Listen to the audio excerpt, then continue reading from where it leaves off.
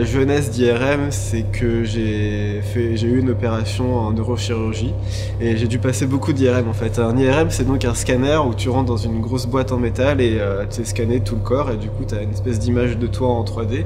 Euh, j'ai dû en passer une dizaine et du coup c'était des expériences euh, assez fortes, mine de rien. En fait, il va y avoir une vraie danseuse que je vais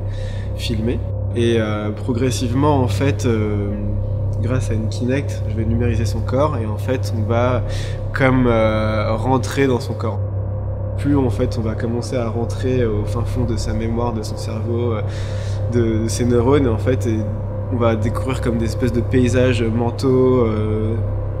audiovisuels aussi, parce que tout va être évidemment synchronisé entre les deux.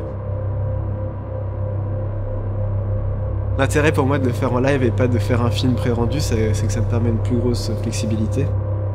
très attention tout le temps au rythme. Euh, et, en fait, avec ça, ça me permet de vraiment de caler précisément mon rythme et en fait de ne pas avoir au final quelque chose qui est complètement écrit et écrasé et sur lequel je pourrais plus avoir de, de retour en fait de contrôle et euh, pour moi c'est très important en fait de pouvoir euh, retravailler de pouvoir le modifier à chaque fois de le faire évoluer